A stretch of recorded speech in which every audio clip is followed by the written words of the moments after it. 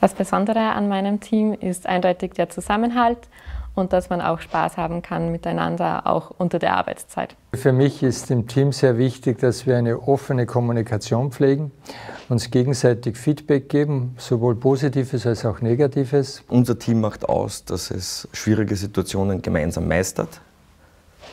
Dazu kommt noch, dass private Freundschaften entstanden sind durch die langjährige Zusammenarbeit? Ich finde, ich habe den besten Chef der Welt. Nein, also der hat definitiv immer ein offenes Ohr für mich und jederzeit, wenn was ist, kann ich zu ihm kommen. Also das, das ist echt super. Bei uns gibt es ein Schurfix circa jeden Monat, wo unser Vorgesetzter uns über die wichtigen Dinge im Unternehmen informiert. Schurfixes sind generell sehr wichtig, um äh, für die Zielerreichung einfach den Status auch immer wieder abzuklären.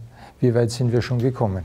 Also wir haben mehrere Veranstaltungen zum Teambuilding. Das ist, sind Betriebsausflüge, das sind, äh, wir haben ein Sommerfest, wir haben Fußballturniere. Unser Team, wir treffen uns auch öfters mal. Also unter der Woche.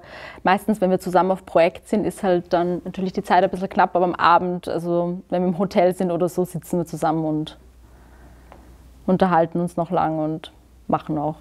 Gehen mal weg miteinander oder kurz was trinken, essen, solche Sachen.